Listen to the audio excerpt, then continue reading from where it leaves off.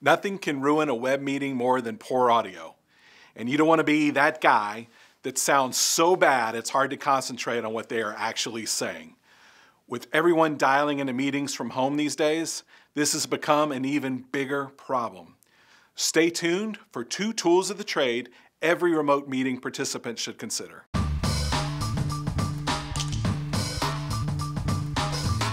Every meeting participant should have a high quality wired USB headset, period.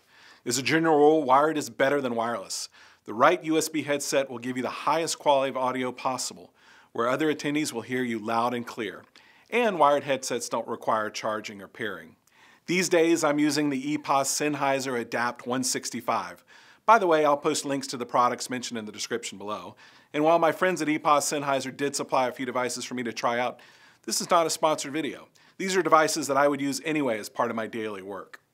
The Adapt 165 is a high quality USB headset that has terrific sound quality whether joining a Zoom call or even listening to music or gaming. It has a comfortable fit and the inline controls make muting and unmuting very simple. It is my daily driver for phone calls and web meetings.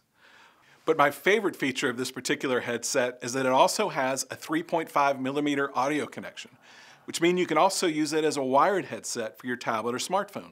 Cool, right? You can find them online for between 80 and $100, which for a device you use for hours every day, it is well worth it. As much as I love my headset, there are times where I either want to just listen to a presentation via speaker or I'm in a room with a group that needs to join a web meeting. That's why I also have the Sennheiser USB speakerphone, the EPOS Expand 30. I really like being able to have a high quality option when dialing in with a group, and the sound quality with the USB connection is far better than the speaker on a cell phone. I also like it for listening into meetings where I'm not presenting and I'm not concerned with sounding my best. Sometimes I just don't want to wear a headset, and I like the speaker as an alternative. Like the USB headset, the Expand 30 is also a multitasker, allowing a wireless connection to either a computer or mobile device. The Bluetooth connection works well with my iPhone and iPad, though Bluetooth limits the audio quality. You can also use the provided dongle to connect to a computer, allowing for things like call control from the device. Another advantage to the Expand 30 is it has a battery that supports up to 18 hours of talk time, making this a great device to take out into the field or to travel with. This device is a little pricier than a headset, coming in at under $200 online. So maybe it isn't for everyone. It is certainly a great option for huddle rooms and folks that collaborate in both real and virtual teams, or folks like me that just want to have all the bases covered at all times. These are two great tools of the trade, devices that I love and are with me both at home and on the road. Thank you for watching. If you're interested in a full product walkthrough, let me know.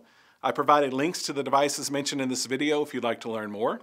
And if you have a technology solution you'd like for me to review on a future episode, please let me know. See you next time, and don't forget to subscribe to On Convergence.